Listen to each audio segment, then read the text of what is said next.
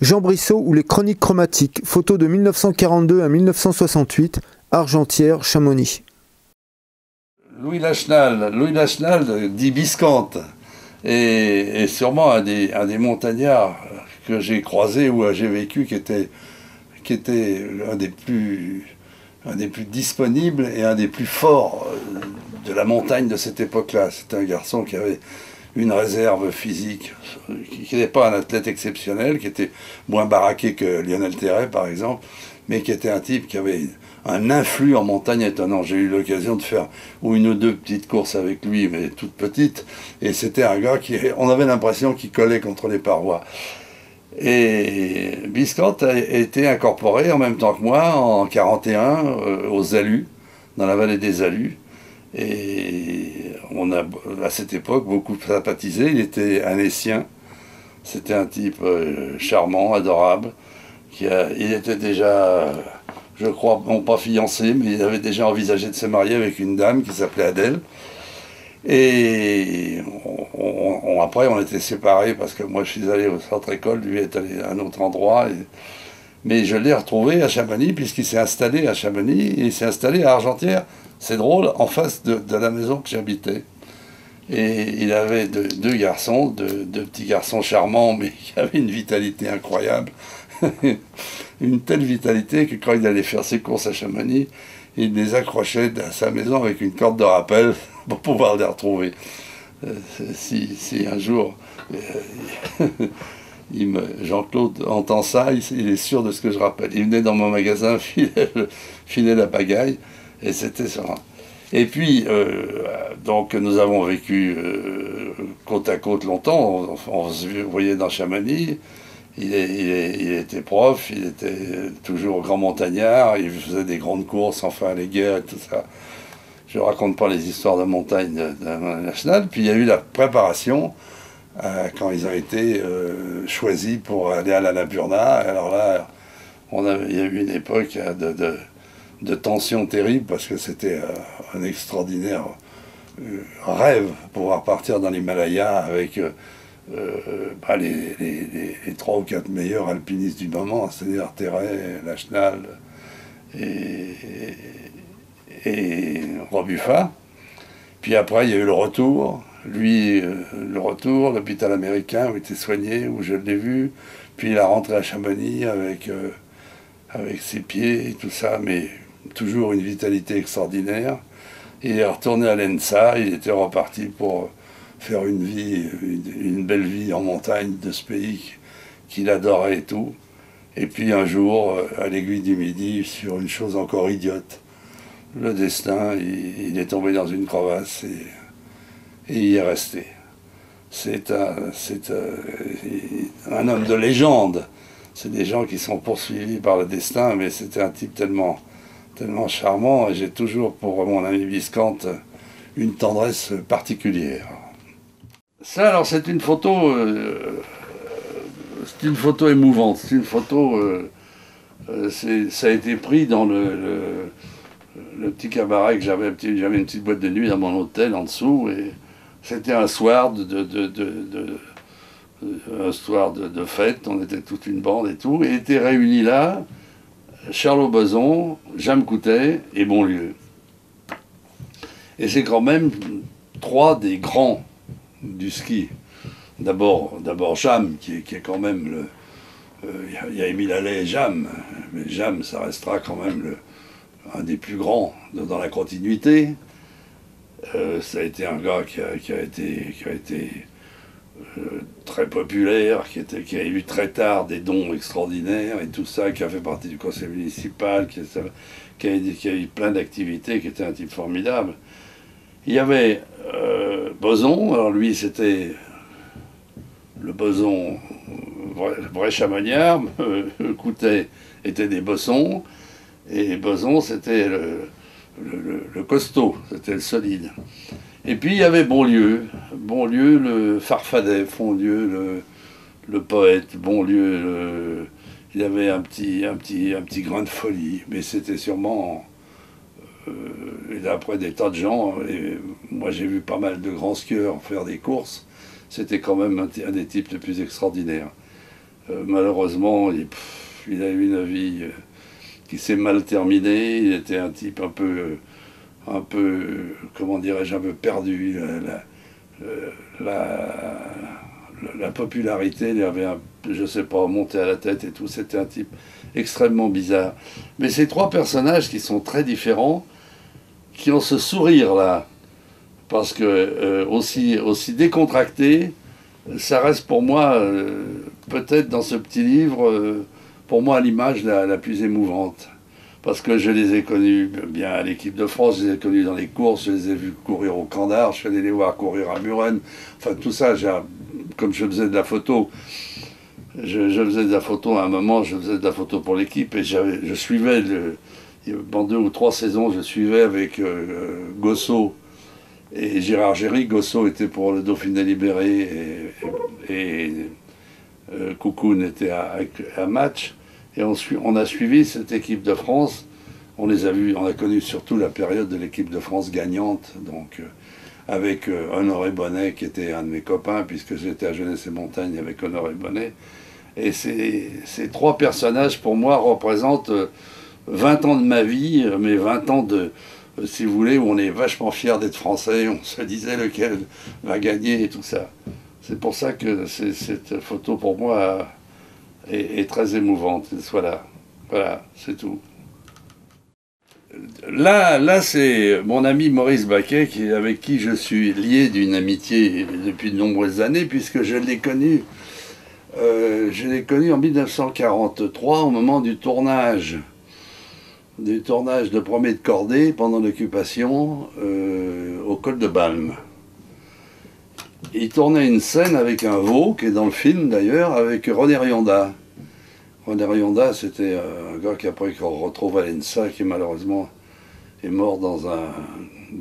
quand l'hélicoptère s'est craché avec Jean Ducrot. Et Maurice Baquet est un type extrêmement drôle et extrêmement charmant, alpiniste euh, entraîné, euh, bien, musicien, premier prix du conservatoire, jouait du violoncelle. Il faisait un numéro extraordinaire de, de, de, clown, enfin de, numéro avec un pull vert et tout ça, et qui a fait une carrière. Euh, pas de très grande vedette, mais de vedette quand même, puisqu'il a été pendant des années, euh, il a fait une, tournée aux États-Unis avec les Branquignoles, et après il a été au Châtelet pendant des années avec Luis Mariano, il faisait le comique de truc, etc. Mais il avait, euh, c'était un il était, né à Villefranche-sur-Saône, et c'était un passionné de montagne. Et alors pour faire de la montagne, il venait en 1935-36 à la brasserie centrale, jouait du violoncelle dans l'orchestre. Il jouait le sort du violoncelle dans l'orchestre de, la brasserie, à l'époque les brasseries avec des orchestres. Et le soir, hop, de nuit, hop, il montait coucher Albert Ier, ou il allait coucher au couvercle. Il se tapait une petite course. Le lendemain, il redescendait et hop, il rejouait du violoncelle.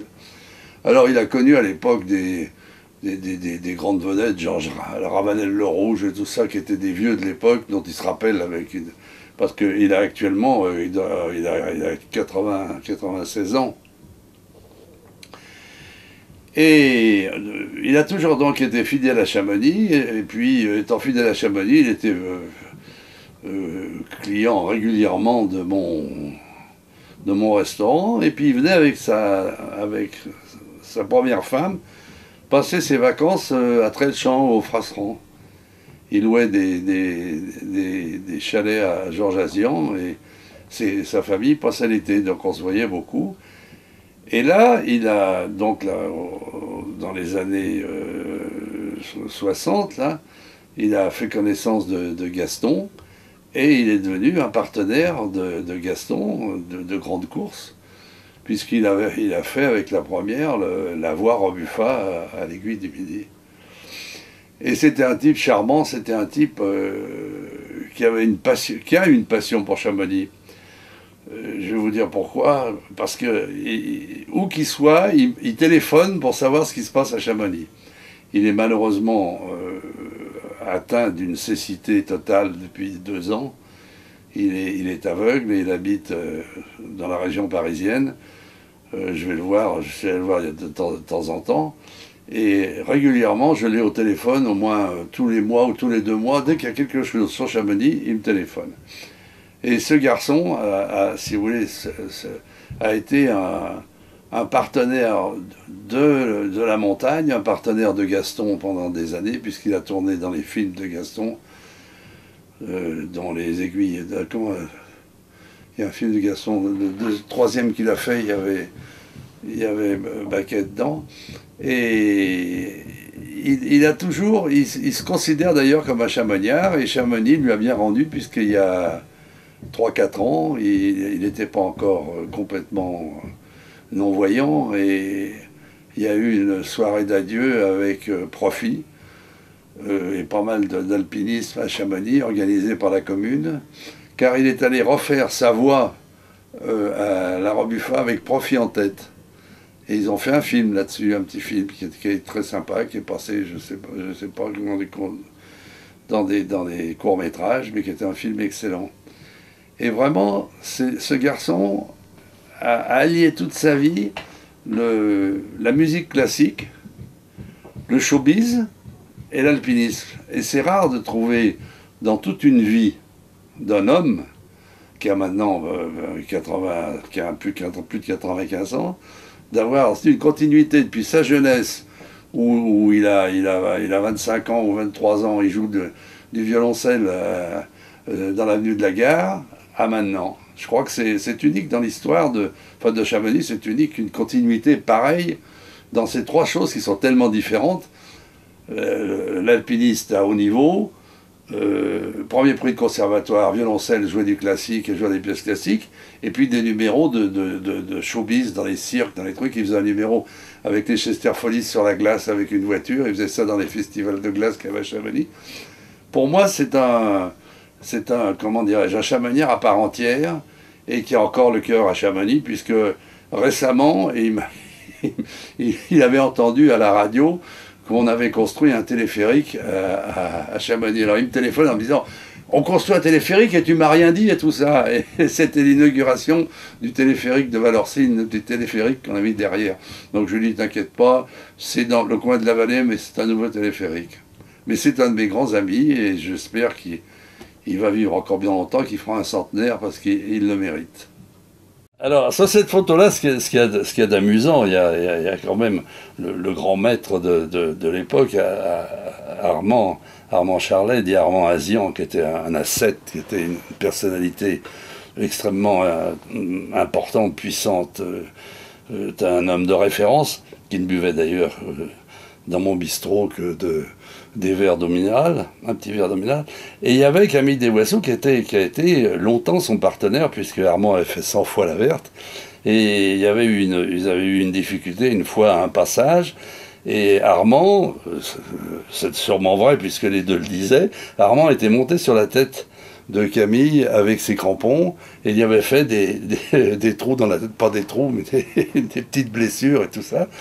Et Camille Desvoisseaux, au huitième verre de rouge, racontait inlassablement euh, dans des soirées euh, le drame sous l'œil extrêmement calme d'Armoisian, qui ne disait pas le nom puisque c'était la vérité. Et derrière, il y a nos amis, Balance, qui est tout jeune, qui est jeune, qui regarde ça. C'était une des scènes épiques euh, de, de mon bar, enfin de mon bar, de mon bistrot, où se côtoyaient les gens du pays, les guides, euh, les, clients qui étaient là, même les gars du show business qui étaient là, qui, venaient passer leurs vacances euh, plutôt d'été que d'hiver que d'été. Et c'était sans se rendre compte des moments un peu historiques parce que tout ça sont des gens Armand et, et des Voissous, des gens qui ont disparu déjà depuis longtemps, mais qui sont dans, les annales de la montagne, dans les histoires de la montagne quand la débâcle s'est terminée, l'armée de l'armée était euh, une grande partie de l'armée française était dissoute. Et euh, on a dissous aussi une partie de l'armée de l'air. Et des gens comme des, élèves pilotes, euh, des, pilotes confirmés ont été virés. Et pour pas les perdre, le, gouvernement d'après a décidé de faire un mouvement qui s'appelait Jeunesse et Montagne. On a dedans planqué ces pilotes Et euh, Jeunesse et Montagne, c'était une association genre les, genre les, chantiers de jeunesse, mais en, tout petit, et qui, est, qui est venu s'installer euh, dans les Alpes. Et il y avait un, centre important à, à Montroc, où il y avait l'école des cadres, où on formait les cadres, pendant, où il y avait toute une, une élite de guides qui à cette époque-là n'avait pas beaucoup de boulot et était engagé, enfin avait des contrats avec Jeunesse et Montagne. Et euh, euh, des guides de, grande notoriété euh, ont, participé à fabriquer cette jeunesse. Il n'y a pas eu beaucoup de, gens à, Jeunesse et Montagne, puisqu'en 4 ans, il y a eu 13 000 gars. C'est-à-dire peu de choses à côté des, des, chantiers de jeunesse où il y a eu jusqu'à un million de personnes. Donc tout ça pour vous dire que ces gens-là étaient installés dans des, endroits, dans les Alpes. Dans, le système était un système de chalets où il y avait en général 20 gars, 20 volontaires.